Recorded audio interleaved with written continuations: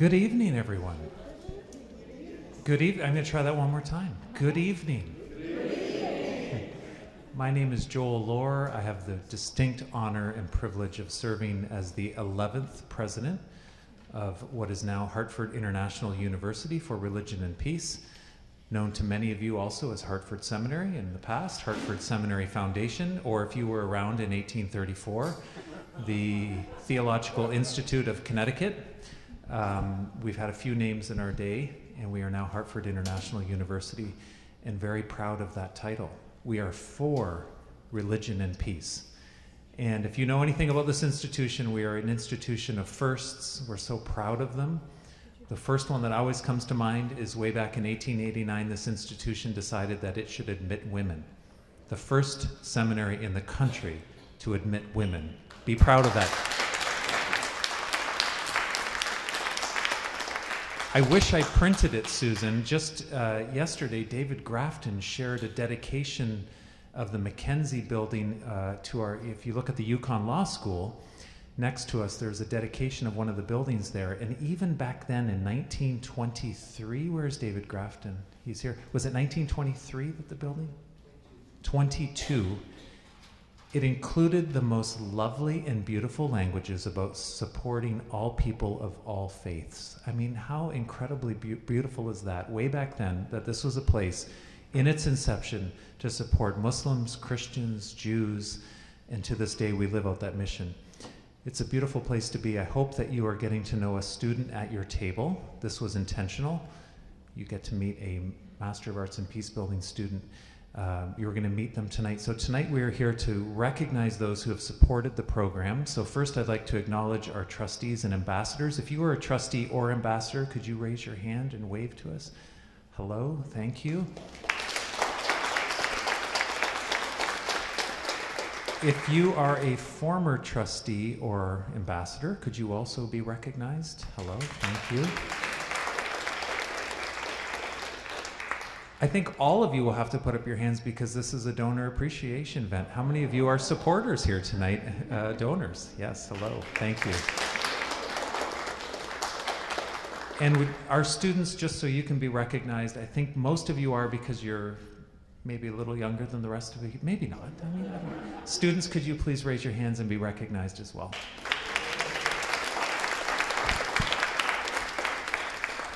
So tonight we're here to celebrate our students. As I remind our faculty staff, I don't need to remind them we are here because of students. They are our mission. They are what gets me out of bed in the morning. They're why I fundraise and why we're here tonight. So we're going to learn more and celebrate our students. Hopefully you will be informed about the program that they are in, the Master of Arts in Peace Building program. And as well, I hope you leave here inspired. If you don't leave inspired, I, I mean, I feel like, should I give a guarantee? Um, I won't do that, but I do think you will be inspired tonight. We have a full program. I believe there's a program in front of you, and I think my next order of business is to introduce our first speaker. Um, we have representatives from a, an important group out of New Jersey, Princeton, New Jersey, called Fellowship in Prayer. And Fellowship in Prayer has been very generous with this program, and I'd like to invite David Newton, the chair of the board, to say a few words and explain the awards they're giving out tonight or unless Ephraim Isaac, would you both like to come up, Dr. Isaac? The Father of Peace is, I just need to say this about the Father of Peace. So I was, um, Dr. Isaac, who is distinctive here because of his Ethiopian garb, uh, he has won awards for his uh, work in peace building. And the story that I have to tell you, he, the, the students are nodding along because he teaches in the program as well. When I was in Denver for a conference, I was in a cab, and the cab driver, uh, I, you know, I like to make small talk, and I said, "Oh, you're from Ethiopia." Um, how long have you been here? Oh, about 15 years. And then I, I mentioned that I know an Ethiopian uh, diplomat who's done a lot of peace building in Ethiopia. And I said his name is uh, Ephraim Isaac. And he said, Oh, the father of peace. I know him. Yes, you know him? so there I was, way out in Denver, and he knew you, and he was proud of your work in Ethiopia. So it's an honor. Can we recognize you for being here tonight? Thank you, Dr. Isaac. David. Thank you, Joe. Um, Last year, actually, while we're talking about garb, um, my name's David Newton. I live in Princeton, New Jersey, and um, um, Dr. Isaac very nicely put me on the board a number of years ago of Fellowship in Prayer, which started off in 1949 as a um, as an organization that tried to coordinate prayer as an answer to nuclear proliferation. And all I can say about it is, is that it seemed to work fairly well up until now. And, um, but then um, it turned into a publication society and uh, it was, what it happened to be in New York and um, was, for want of a better expression, it was sent out to pasture to uh, Princeton, New Jersey, and for about 30 years it was a, a publication society, very critically well, critically well received um, journal called um, Sacred Journey, which came out around quarterly. Um, but we, we found that, that even with the quality of journalism, um, we weren't being read by a very wide audience. And in 2013, um, even though I wrote, I wrote fairly often for the, um, and, and Ephraim did also, um, we decided to close the, the publication. Um, we were very lucky to have received a gift many years beforehand from Mrs. Eli Lilly, and so we had um, a sum of money, um, an endowment, a small endowment to work with, and we converted the organizations into a, a grant-making organization. Um, and I remained on the board um, along with a couple of other directors. And one of my directors, um, or my fellow directors, a man called Reverend Wayne Mizell, who um, is not with us tonight, but Wayne decided that he should uh, uh, design a mission for us. And the mission really became about scholarship, about peace building, um, help me here, Ephraim, um, about um, about working with, with our, our local community and um, the, the, the last thing being about leadership. And the way we've worked best is we, we've joined forces with like Interfaith America and with the Hartford International University to create a series, to create with them a partnership or a series of partnerships whereby um, we donate a sum of money and that money is used to hopefully benefit or promote um, um, young leaders um, who are, graduating or who are with that, those organizations. Uh, and that's where we are. This is our second year doing so, and Joel, thank you very, very much. And your graciousness is always greatly appreciated, and it's been nice working with Katie. And um, you know, and we really, to, I'm humbled to be here as part of um, this graduation, and we, we particularly um, very proud of the graduates and um, we look forward to working with you. And I'm going to hand over the microphone for just a couple of minutes to Ephraim and um, you may say a couple of words. Thank you.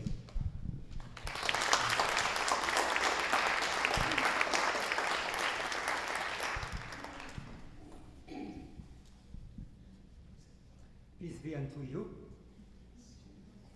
It's a great pleasure to be here again. And I've had a wonderful visit to this campus. And uh, President Joel uh, has been very kind to me and the staff and the Grafton and others. Um, and I was looking forward actually to this occasion this past year because uh, I really, with all due humility, had a great year where I've been honored in many different ways, including by Harvard University as one of the alumni who had made a difference. And uh, I think I sent you a copy of the story. So I was thriving on that. And then about a month ago, I had a little pain in my stomach. And uh, I went to the hospital, and they decided, um, well, uh, it's, it's better if we take your append appendix out. Well, I didn't like the idea, but I agreed, and which meant I had to stay in the hospital four days and uh, become very, very tired and sleepy. In fact, you can see me. But let me just say a couple of words regarding that experience and my whole experience of what's happening in the world today. Uh, President Joel kindly referred uh, to Ethiopian guy who calls me. That is the name they gave me in Ethiopia. Kids on the street, whenever I go there, the father of peace. I don't know why they call me father of peace. I could be mother of peace too. Um, but um, uh, the truth of the matter is, uh, from my elementary school days, I've always believed in peace. I used to, to jump in between students who used to fight with each other. And uh, going back about 35 years, I founded the Ethiopian Peace Organization. And uh, peace had always been very central in, in, my, in, in my life. Now, this experience, which uh, I have this year, of course, very gratifying. Then, when I got sick, and then when I heard about the war in Ethiopia, in which almost a million people died, I started looking at the problem of human nature. And I can give a long lecture another time. But uh, in summary, let me say this. As it says in Psalms of David in the beginning, you know, they, they are the two ways the way of the wicked and the way of the righteous. And how true is for me this year. In Ethiopia, my beloved country, a war broke out in which a million people were killed. I couldn't sleep over this. I have written several articles published in the Ethiopian newspaper, and I said, who are these people? And not only that, many of the soldiers were raping women, damaging their bodies. It's unbelievable. Then I come to the hospital. And all of a sudden, I see these nurses taking care of me like a baby, even helping me with my clothing, touching my body. I said, Are you women or angels? Indeed, I must say, it's really created in my mind my optimistic view that there are good human beings. I cannot forget it's not one woman, it's one nurse and two nurses, several of them. They touch you everywhere without thinking of any kind of emotion. They will take care of uh, your urine, if I can even say that. Who are these people really? Really, I cannot still think of them as just simple women, but as really, truly angelic people. And that created faith in me I came to the hospital thinking of the millions of people who've been killed in Ethiopia, the women who've been raped, the country that's devastated, the economy that has been completely destroyed. With kind of a pessimistic view, I come to this hospital, and these nurses created new optimism in me. They are really human beings, which will do anything wash you, clean you. And I'm sure some of you have been in the hospital have, have a feeling like that. So I'm very, very happy to say there are human beings that are like this, that are like saints, that are like angels. That is why I do not give up my, my, my commitment to peace, uh, and uh, I'll follow these nurses as my role models while I cry day and night over the death and destruction of the, country I loved very much. Um, I could uh, uh, speak much longer, but uh, both because I'm not so strong, I'm sleepy, and because there is no time, I will stop here. And may God bless all the nurses of the world and all the people who do good like you, and people like you also, I'm quite sure, who are trying to do something good in the world, committed, because we need people like that. Otherwise, the world in Hebrew religion says 36 people must exist, otherwise the world will be destroyed. And so, in spite of the destruction of Ethiopia, there are 36 nurses I met. Thank you.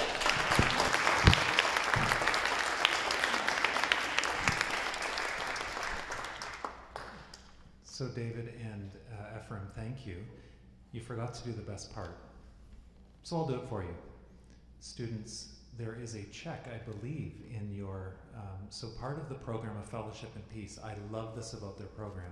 They insist that without a lot of qualifications, often when students receive money for a project, there's a lot of things they have to do to kind of document what they all did, and you do have to do some of that.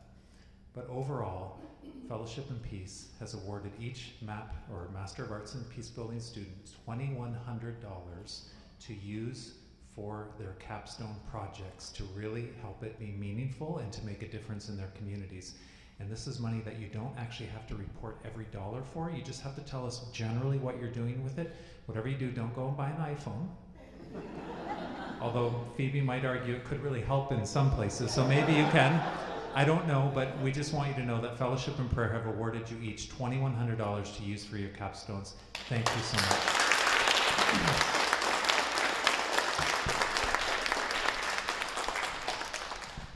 It is my honor to introduce, but first, um, before I introduce Sue Williams, who's here with us tonight, I just want to say a word about one of our beloved uh, trustees who has passed recently, and his name is Bang Williams. Um, I know him as Bang. There's a picture of Bang up there. Um, his full name is Elliot Williams, but we know him as Bang because he was born on the 4th of July. I have to believe that his name that went with him from childhood as Bang has made an impact on how he's looked at life. He was born with a bang, and he lived with a bang, um, and we know him as Bang. Uh, when he passed, and it was a sudden uh, passing, it, it, it, struck us all so quickly and, and so harshly. Um, I wrote to our trustees. Sorry, Sue, I know you're going to speak after this. Um, I wrote to our trustees, and I wrote it from the bottom of my heart. I don't know if I've met a more kind man than Bang Williams. I interviewed for this job, and he was part of the interviewing trustees at that time. And I told a little bit of my own story, which I'm not going to tell too much of, but I'll just say that I have a bit of an interesting story. My parents adopted children from Bangladesh and from Laos when I was very young. So my earliest memories in a very all-white kind of community in rural Ontario, Canada. As I like to say, there were 10 people in our town of 10,000 that weren't white, and four of them lived in my house. Um, you know, the other three ran a Chinese restaurant, and there was a, a but Bang took such an interest in my story, and then he proceeded to tell me his story, and it always had to be about his story of faith. And it was his story, his journey of faith, and then he told me about his journey to Iran with Dr. Shakibai, who is here, who he loves so dearly, and the journey that you had there. Thank you, Dr. Shakibai, for being here. Um, we're so honored that you, many of you tonight, are here to honor Bang Williams. You have made significant gifts in his honor for this program because Bang loved the peace building program. So I'm just delighted that you've come to honor Bang tonight through this night. I'd like to invite his widow, his wife, uh, Sue Williams. Would you like to come forward and just say a few words?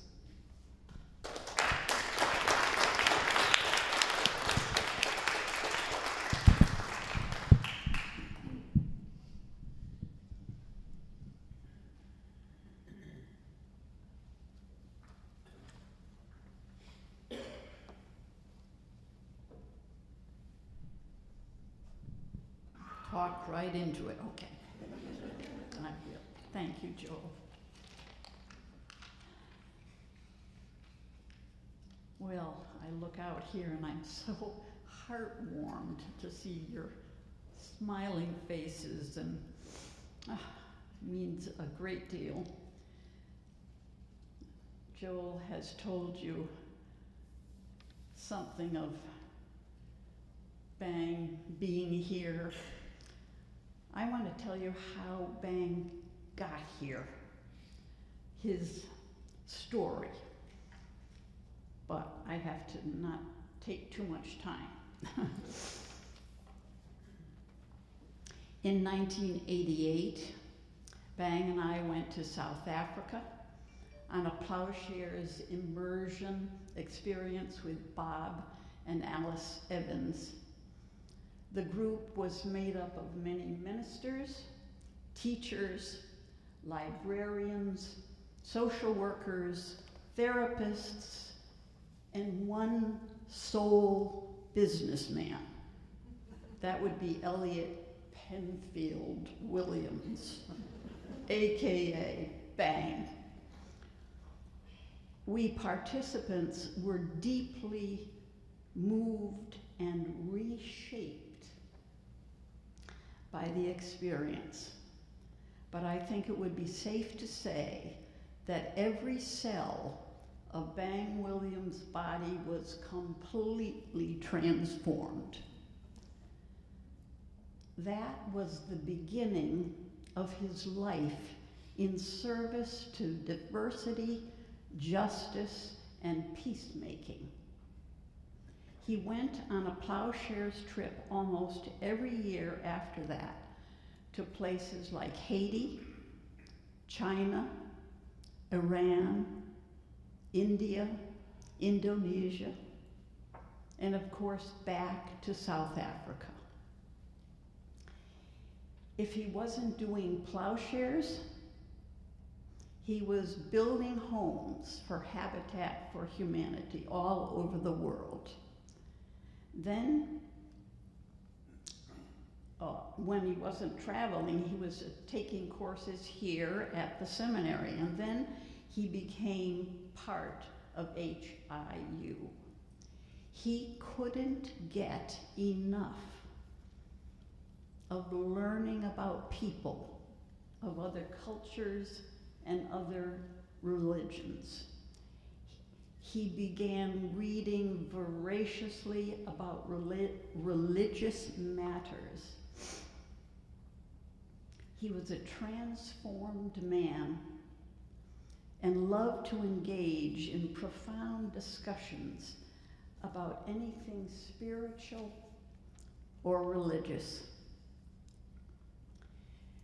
Bang would be both flabbergasted and maybe even initially embarrassed about this scholarship in his name.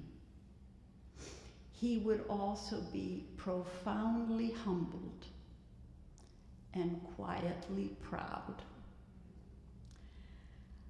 I know he would have especially relished the opportunity to converse extensively with every recipient.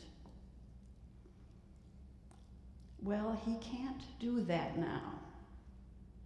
And when I begin to grieve that realization, which would have been meant so much to him, I quickly go to the fact that Bang rests in the heart of God and God is always with us. So Bang is always with us. Bang will know every scholarship recipient intimately. All shall be well. I thank each of you for being part of this extraordinary endeavor here at HIU. Thanks.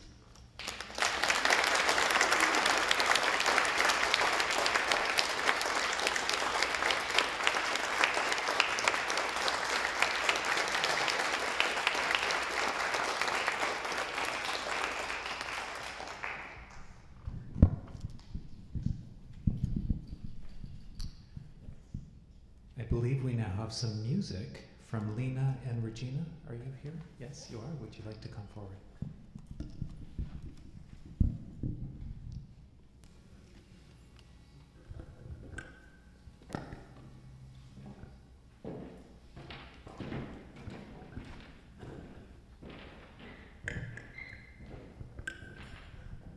So before we sing our song, we would like to share a story from our song. In this opportunity, we will combine two folklore songs from Indonesia and Greece. And the theme of folklore song is about love. The Indonesian folklore song tell us about how um, couple just know about love, know about each other, they still flattering. And about the Greek folklore song, tell us about how sometimes people lose their love because of their ego and stubbornness.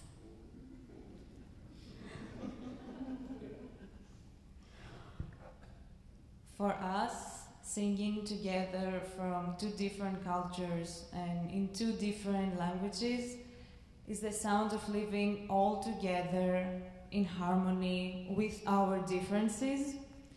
It is the sound of diversity and the work that Hartford International University does. Thank you.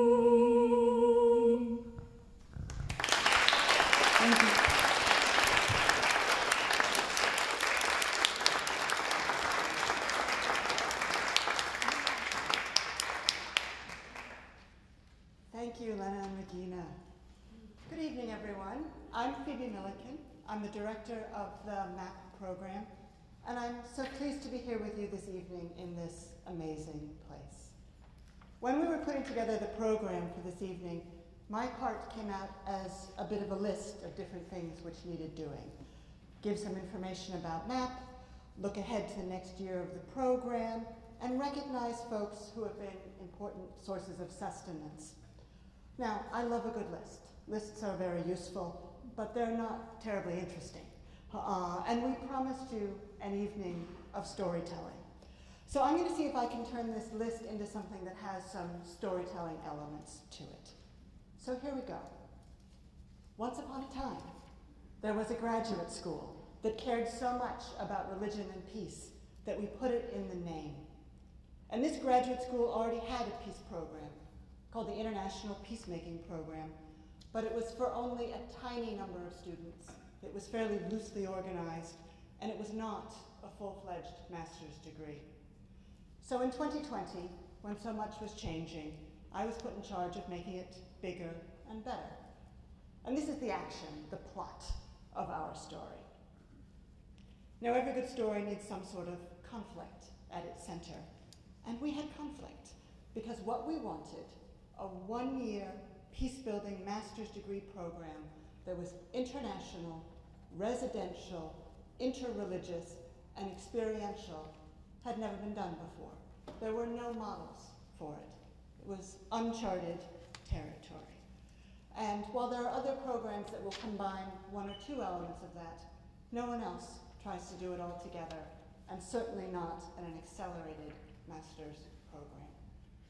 And if that was not enough of a challenge, we had another conflict.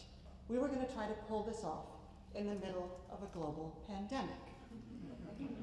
so it's a good thing we like a challenge. It's also a good thing that we know that conflict is normal and that peace building is about handling conflict well. It's also good that there are all sorts of protagonists in this story. Protagonists like faculty and staff who were up for this double challenge and committed to our new program, the Master of Arts in International Peace Building, as a hallmark of the religion and peace work we do here at HIU. And protagonists like students who are willing to leave everything they know behind to come be part of this new program. And I want you to think about that just for a moment. Imagine that, being so dedicated to peace that you're willing to leave your friends, your family, your job, your country, your language for a whole year to become a better peace builder.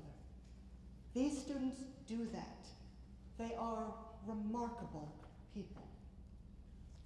And if every good story has conflict, every good story also has risk. Working for peace always involves risk because it means asking people to move away from old and familiar norms of division and build new and unfamiliar norms of collaboration. Building new norms is always risky work. It is always uncharted territory. We at HIU took the risk to build a new kind of program, and the students took the risk to be part of it right at the start. Many of you gathered in this room took the risk of supporting us in doing this. So we've got conflict and we've got risk.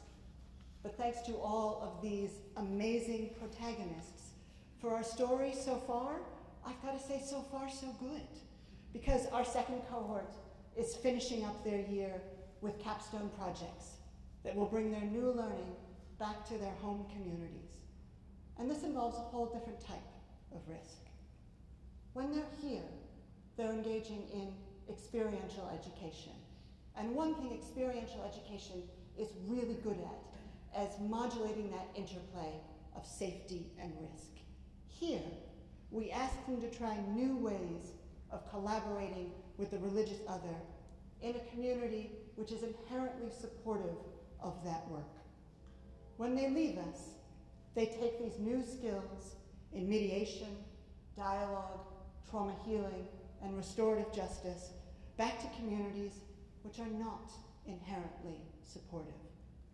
I listen to them talk about their projects, and I am inspired by their courage all over again. There are other protagonists in this story who are sometimes less visible day to day, but no less important. And this is you, our community of supporters. You are people and organizations who are dedicating time, effort, and money to making MAP a success. And I'm going to take a moment to name who you are so you know with whom you are sharing this great venture and with whom you are sharing this evening.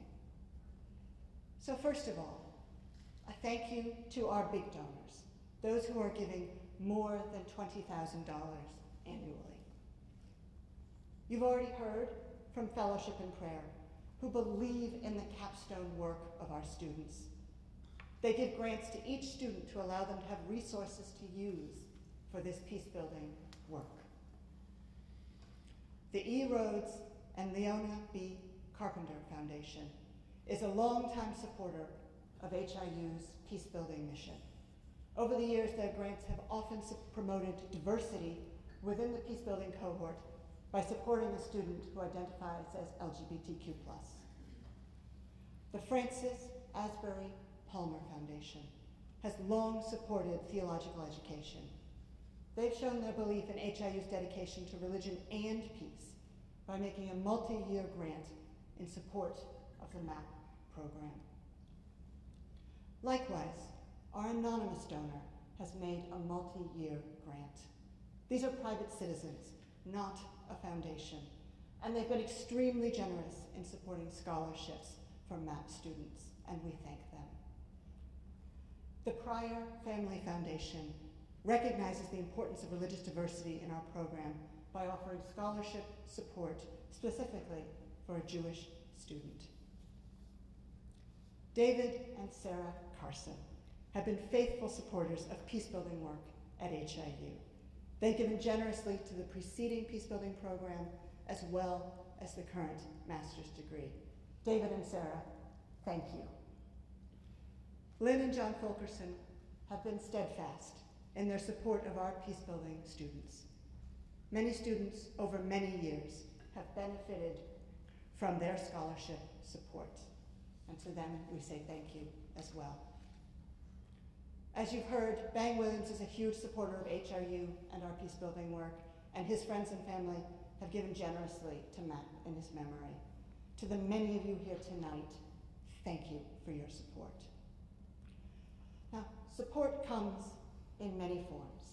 MAP has also benefited from the support of the board, which believes in the vision of this program. We are also immensely grateful for the involvement and support of our Hartford International ambassadors who showed up at orientation events to help this student cohort get their year off to a great start. You'll see some photos on the screen of several different events which were enriched by the participation of our ambassadors.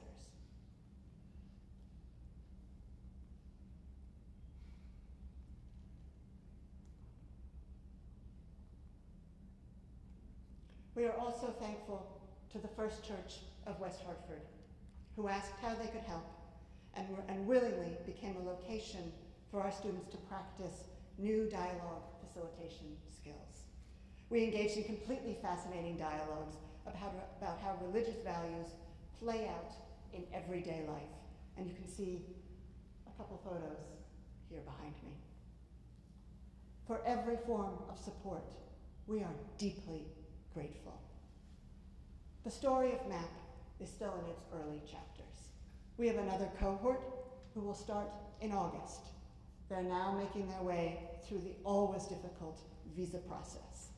And fingers crossed, we look forward to welcoming students this coming August from Nigeria, Kenya, Tanzania, Zimbabwe, Cameroon, Ghana, Lebanon, India, Afghanistan, and the United States. Your support has made MAP possible so far. You are essential characters in this story. Thank you for believing in us. Thank you for taking this risk with us. And now I'm going to move us away from story and back to song.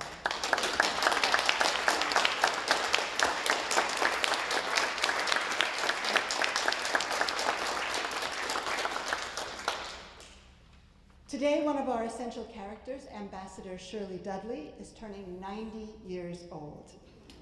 And so we need to sing to her. And so I'm going to invite Lena and Regina to come back up and start us off. Happy birthday, happy birthday, happy birthday to you. Together, happy birthday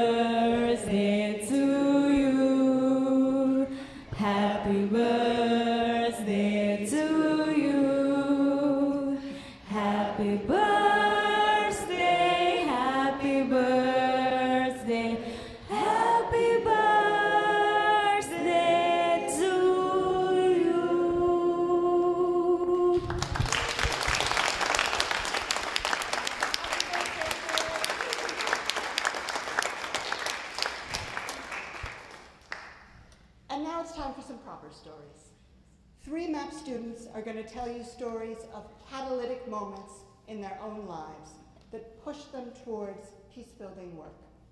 These are moments which propelled them to seek out a program like MAP and be willing to dedicate a year to it.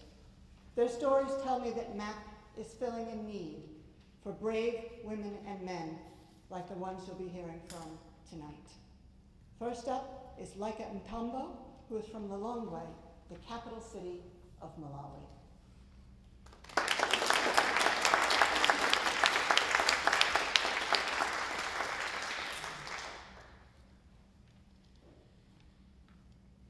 Good evening.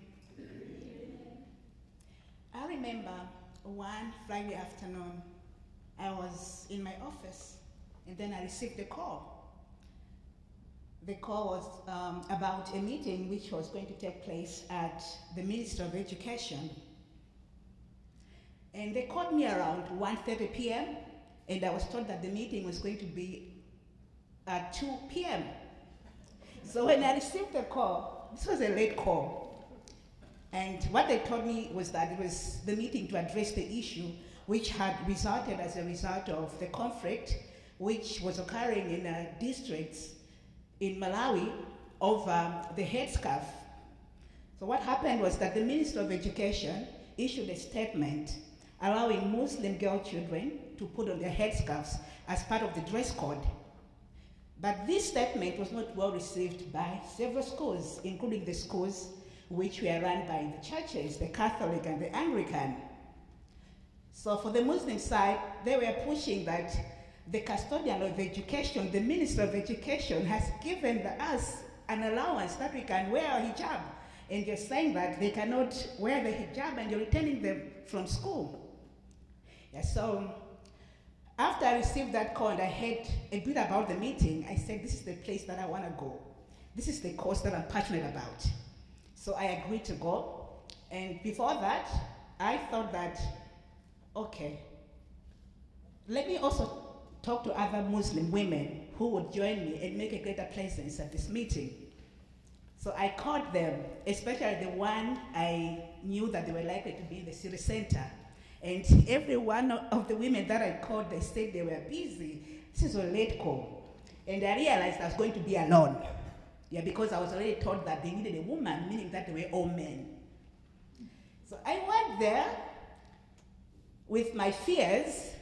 This was the first big meeting. I've never appeared before the principal secretary of education. So yeah, I, I got my courage and I said I was going to do it. We went there.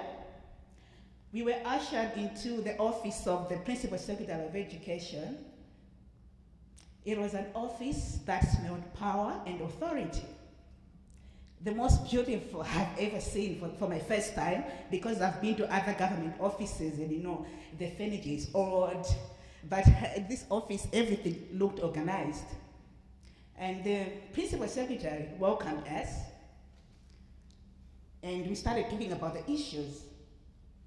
And he began to tell us that, okay, we understand that our statement is causing tension, but we want you to keep calm. So, what we are going to do is we are going to issue another statement, but we want you not to take this out. It must not be in the public. Don't even take it to the media. Because if you do that, the Rastafarians also have issues with us. They want their children to come to school with their dreadlocks, so we don't want that. We're not ready for that. so in that moment, a couple of things hit me. Okay, we are a minority, and they want us to also take part in causing the oppression to another group is also oppressed. And then I looked around the room. I was alone, the only woman, Muslim. You know, when you're Muslim and a woman, that's a double jeopardy, double discrimination. and I realized that this is not the reality only in this room, but also out there. It's like that. And in our discussions, I remember telling the, minister, the, the principal secretary that you know, you have to at least intervene in the issue. You're the custodian. Because of this issue, violence escalated. You know, we saw the division of the community, Muslims and Christians fighting. And because you're not doing anything, you're having a responsibility on whatever is happening in this community. But when he said that oh, don't take this to the public. Prior to this meeting, I was told that we shouldn't trust him because he goes back and forth. There were divisions within the ministry. And then I said, okay, maybe we can give him the benefit of the doubt, which we did. And at that moment, we, were we, we, we had an ultimatum saying that we were going to conduct some protest just to shame them. They're not doing anything. Maybe the public should know and be aware what is happening. And then we went with a promise that they were going to do things better. But things did not change. And this resulted in the schools closing down. So the closure of these schools meant that about 2,500 students were out of school. And this is just after the pandemic. Fortunately enough, in Malawi, we did not face a lockdown, but schools closed temporarily. And we thought that during that closure, they were going to intervene on the issue and provide a solution. So it had to take um, interventions of other stakeholders like United Nations Development Fund, which funded a dialogue. And because I was involved in this meeting, when the men were planning on who to pick also to be part of the dialogue team, they thought about me. And I found myself there. So during the dialogue, we had several meetings with several partners, including, again, members from the Ministry of Education. And I remember clearly one of the directors told us, the Muslims, that please tell your children to leave their religion at home. And then after that, he proceeded to make a presentation on the history of education in Malawi. So in the history of education, we're taught that education was introduced by the missionaries, and the aim initially was to evangelize. And we also had Bible knowledge, a subject specifically. Not only for Christians, Muslim, Christian, we all take the subject. And this man is telling us that we have to leave the religion at home. What, what is he talking about? That was causing confusion, and the room went dead silent. We were confused. We are here in a dialogue. We are hoping to understand each other, and already someone from the ministry is taking sides. So it was a difficult process. I remember some days I dreaded attending the dialogue. As a team, we were making progress, but when we report to the leaderships that entrusted us with this duty, they would say, No, you're giving in too much. Why are you leaving out this issue? You're letting them win. So it was such a tough process, but in the end, we agreed and formed um, and, and um, came up with a memorandum of understanding, which changed the policy, gave a policy direction. Now, the schools, even those that are run by the churches, they said that we are no longer going to be returning the Muslim girls from school. Now they can wear the headscarf as part of the dress code. And we're also tasked with um, making recommendations on the policy on education. So this whole experience taught me two things which I'll mention now. That the religious community can be a resource for change, that we don't have to hate each other. And through this process, and coming here doing the MAP program, I realized that the acts of the Minister of Education were violence against the children of Malawi. So, and I remember both of us, Christian and Muslims, arguing that our children are losing, Christian and Muslim, because this school caters for all of them. So if we're holding on to our positions that we cannot change, someone is winning, we are destroying their future. Yeah. So coming here, I realized a lot of things, and uh, I've gained skills that I'm going to use to improve my work in Malawi. Thank you very much.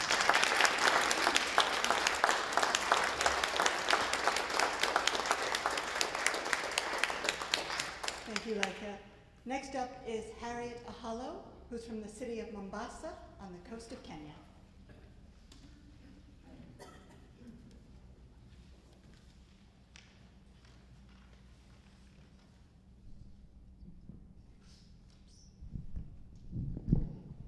It was a, bit, a beautiful Wednesday morning. The sun was shining brightly. Uh, it was a little bit unusual this day because um, April is a rainy season. And so I was excited to go to my internship at the Kenya Police Service, uh, Department of Criminal Investigations. I was 19 then, and I was the first intern ever uh, to work with the Kenya Police Service at the whole of Coast region of Kenya. And um, so I leave the house and then I go to uh, where I would take the ferry. And then after crossing, I take a public transport.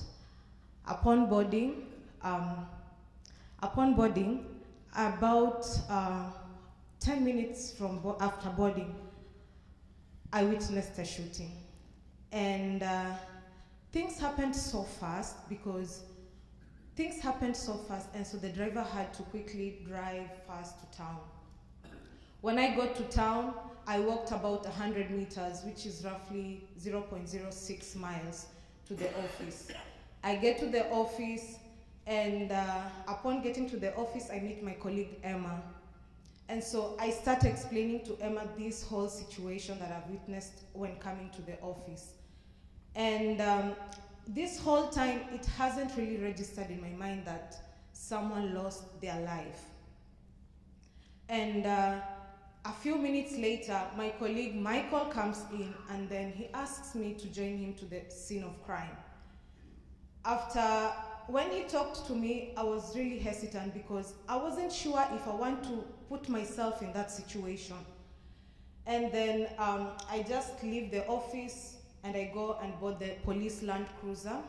We get to the scene of crime, and then, uh, you know, when I got there, I was really angry and I was really worried. My body was tensed because I have never witnessed a robbery with violence. I have never seen someone being shot at. And so we check the evidence, and then from the CCTV footage, I see that it was a young man who had um, shot this man.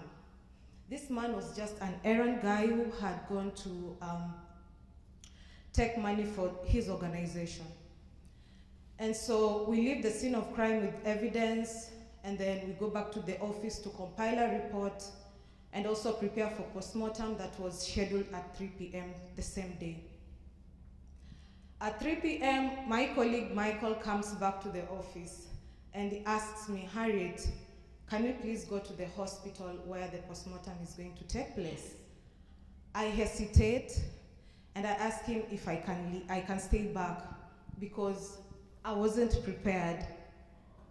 But then Michael declines my request and uh, he reminds me that I am an, I'm no longer an intern, that I'm now a police officer. And so we leave the, we leave the, uh, the office and then we get to the hospital. And then upon getting to Pandya Hospital, uh, I see the wife of the deceased. I see two of uh, the kids and also a relative, and they were crying. You know, when I saw them, my eyes were filled with tears. And um, as we were walking towards them, I asked Michael if I can stay out of the postmortem room. But then Michael reminds me that I'm not an intern. I'm a police officer, and so I need to act like one.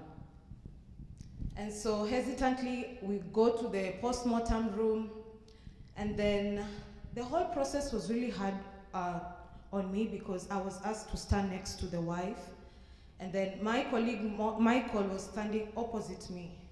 This whole time, I could hear the wife crying. And my eyes were just filled with tears. I wanted to just, you know, let out my emotions. And after the whole process, we get out of the postmortem room and I asked Michael to take me to the jetty where I would take the ferry and, you know, get back home. But on our way, my dad calls me and then he informs me that he won't be coming home together with my brother. The, both of them are not going to come home. And so I'm going to be in the house alone. That night was really long. I didn't sleep. My body was cold. The trauma was too much for me. This is just an experience of what people in communities experience in their daily lives. Uh, no one is prepared to experience trauma. It just gets to you. From this difficult experience, I found myself in activities that involved healing communities. This also resulted to me founding an organization called We Rise Africa that champions for safe spaces for minority groups like young people and also women to discuss issues that affect them in daily lives. By also tapping onto the local resources like faith leaders who are very important in the healing journey of communities. Being in HIU has provided me with the opportunity to learn about trauma, to learn about the triggers of trauma, to learn about restorative justice, but most importantly, to initiate peace building initiatives in a trauma informed way. I have deep sense of gratitude to you for your contribution to the mission of HIU, which is why I am here today. It is also why I feel ready to go back to the community back in Kenya, my home country, and contribute to healing communities with a lot of empathy, with a lot of compassion, and also working in the foundation of one of HIU's values, and I'm going to quote, We believe in education that is transformative, creative, empowering, and enabling people to contribute more fully to their faith based civil, civic communities. Thank you.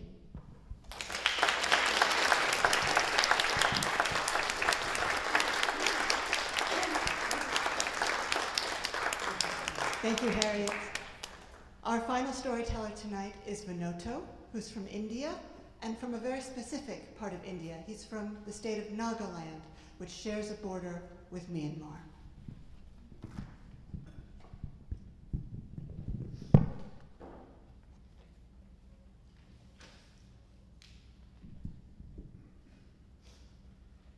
Twenty eighteen, back in India, I am in a room with 26 other students with two professors. The professor says, share your topic for your master's thesis. One after the other, the students are sharing their topic. And now it is my turn to share my tentative topic. I said, sir, I wanted to look at the issues related to the indigenous community called Naga in Indo-Myanmar borderland. My professor said, Vinito, that is too much for your master's program because of time constraint. I insisted and decided to carry on. I particularly wanted to look at this region because my people, a Naga community, we have a, we have a political conflict with the government of India since Indian independence. This led to implementation of AFSPA in my state, in our region, Armed Force Special Power Act, which led to gun violence and bloodshed over these last 70 years. Now I have decided to go in a region, in an area which is one of the most dangerous areas in the region because of the presence of different military regimes. On one side you see mili Burmese military, in between you see Naga insurgency group, and the other side Indian military. A place also known for gun violence and bloodshed. But I still do not know anyone in the border area, nor have I been there. I quickly contacted three of my friends to help me to get in touch with a pastor who knows a person in the border area.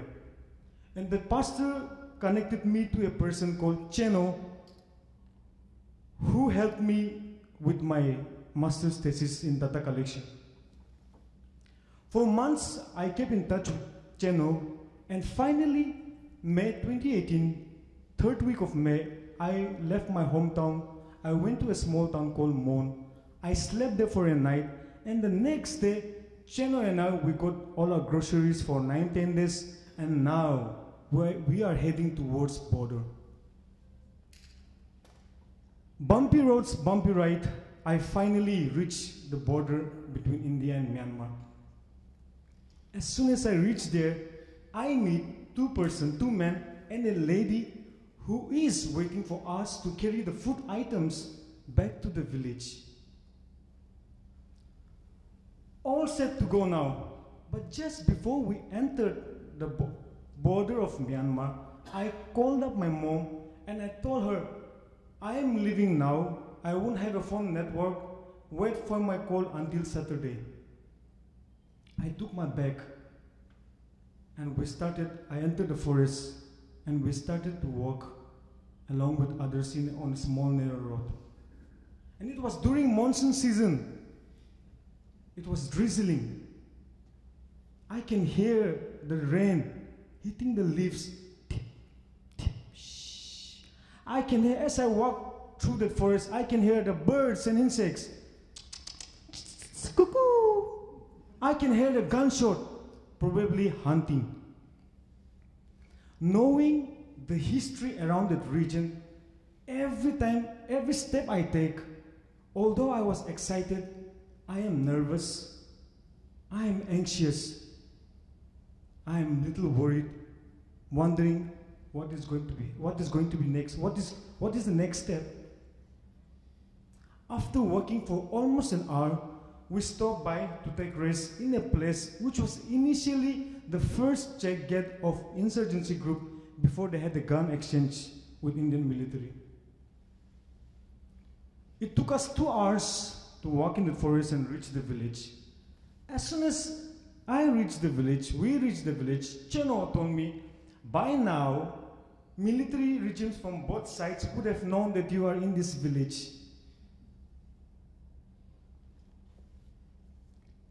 I am now standing in a place, in a small village, surrounded by mountains and forests, where there is no transportation, where there is no electricity, where there is no phone network. Completely different world. We eat rice before they go to farm early in the morning, and that was our breakfast and our lunch around 7 a.m. By evening, before it gets dark, by 6 o'clock, we eat our dinner. Or if we happen to eat around 6.37, we carry a torch in one hand, we eat with other hand. Or we sit around the fire. I completed my data collection as prepared, but lo and behold, I couldn't go back on Saturday. My parents, they are getting worried by now. They're trying to get contacts with different people to ask about my stay. Finally, I left the village early morning at 6 a.m. the following week on Monday. On our way back to the border, the Indian border, we met few villagers who told us that the Indian army, the Assam Rifle, paramilitary, which is part of Indian army, they are patrolling around that region. As soon as I heard that, I got nervous and I was worried. My friend Cheno told me if if Indian army, if they ask you, just tell them you were here for two, three days.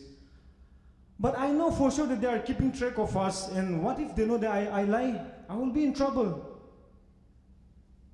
We reached the village, the border area around 8 a.m. So as soon as I reached there, I tried to locate the phone network and I called up my parents. It was a big relief for them. The only thing they told me was, We were worried about you because you told us that you will be back by Saturday. I went back home, I submitted my data collection, I completed my master thesis. Two things that still concerns me from these experiences. First, during the interview, one of the respondents told me, we seek and long for peace in the border areas. We don't want our children to experience what we have experienced. Second, Cheno told me, when you go back, write, share, and tell people about our struggles and experiences in the border areas.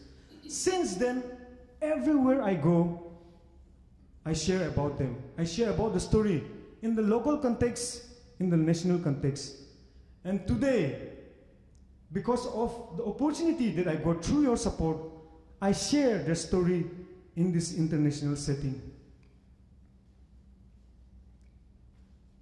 Who could have known that small, that little moment in the border areas would have led me today in peace building? Since I left that place, I had an urge to go back and contribute my service to them.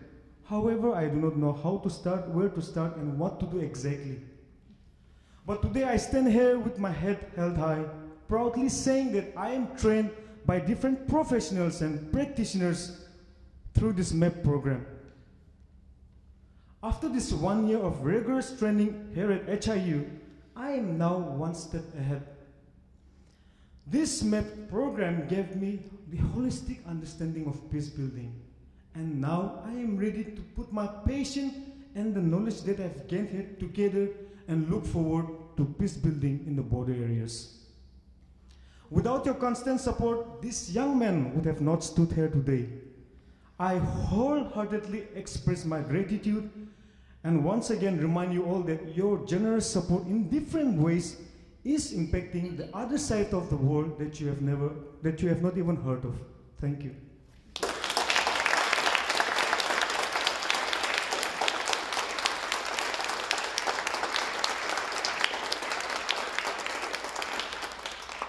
Joel, I think you could have guaranteed inspiration. I think it would have been safe. So thank you so much to all of our storytellers. Uh, I'm now going to hand more back to Lena and Regina, who are going to lead us in a final sing-along.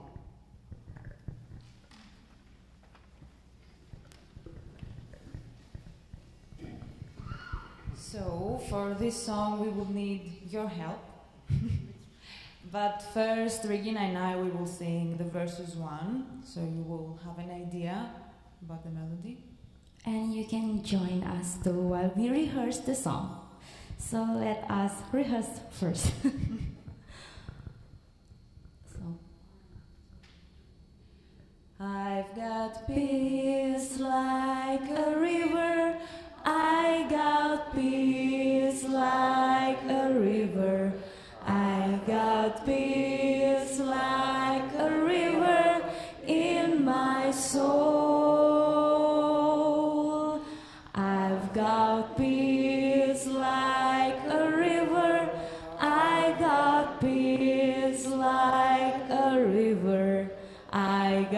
Peace like a river in my soul. Okay, I think we are ready. so let's play a game. So we will separate all of you into two groups. So the first group will be Mr. David table, Paul table, Venus table. Please your, raise your hand. Okay. And then Phoebe's table will be the first group and will be led by Lena. And then the rest of the table and this group. My king, Marina's table and my table will be led by me and focus on me. So, group one, can I see your hands? okay, we're good. So, we start first. One, two. I've got peace. I've got peace like a river. I've got peace like a river. I've got peace like a river in my soul. I've got peace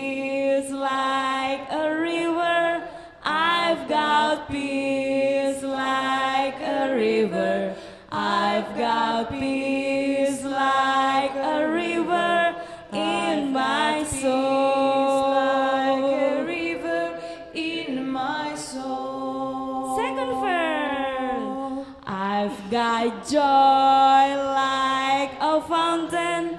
I've got joy like a fountain. I've got joy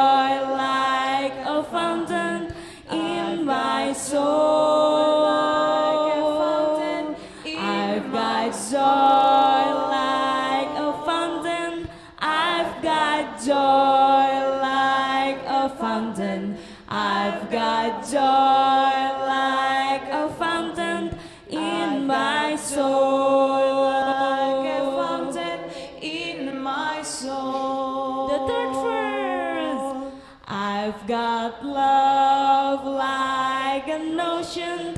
I've got love like an ocean. I've got love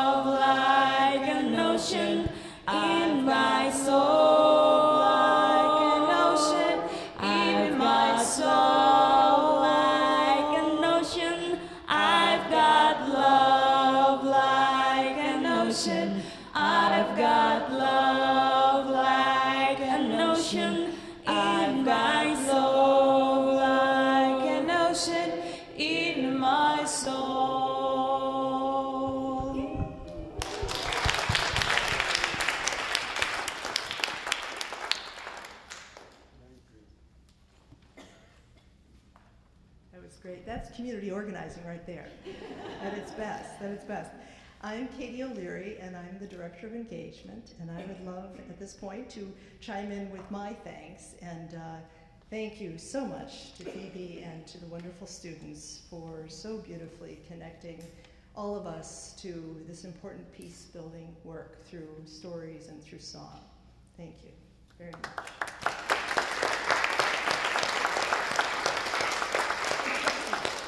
And thank you to all of you for all of the many, many ways that you support this work. It is so important, and we are so grateful. I hope that you will leave here, we hope that you will leave here tonight with, with uh, your hearts full, knowing that you are making an incredible difference across the globe and in ways that you will likely never even know.